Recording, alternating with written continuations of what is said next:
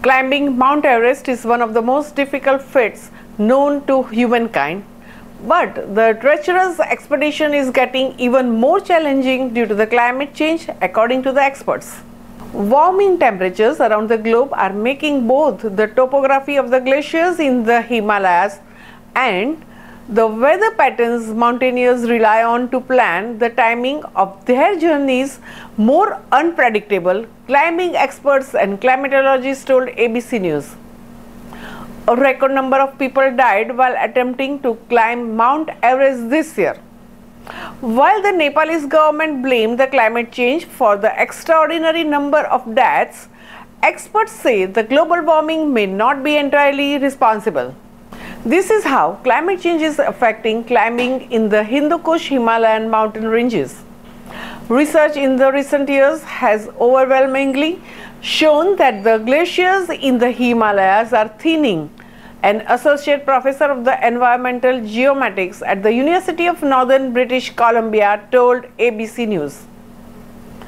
Climate change is roasting the Himalaya region, causing glaciers to retreat and permafrost to melt according to the 2019 report.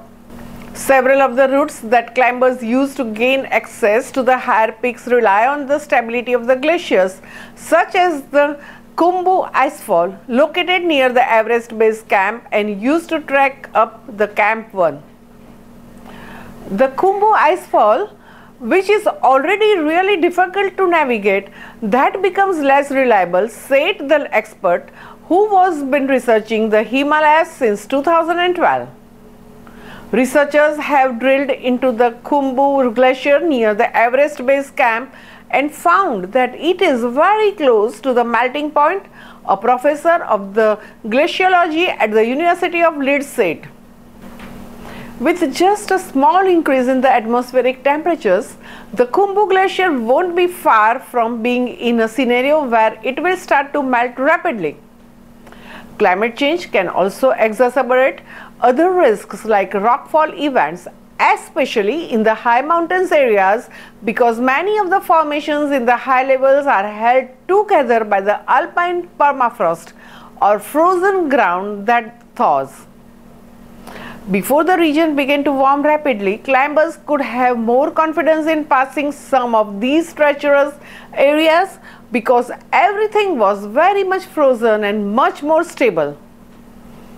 Many of the slopes are becoming exposed for the first time and rock avalanche events will be increasingly unpredictable. Snow and ice avalanches in the Himalayas are also increasing risk for the climbers as global temperatures warm, a study published in the European Geosciences Union in July found. Weather patterns in the region are also becoming more erratic, making it difficult for the climbers to plan safe expeditions from more than a few day out, research shows.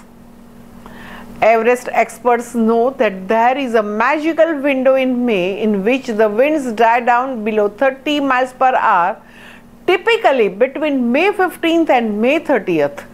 Chris Tomer, a Colorado based meteorologist, a weather forecaster for the mountaineering expeditions, said.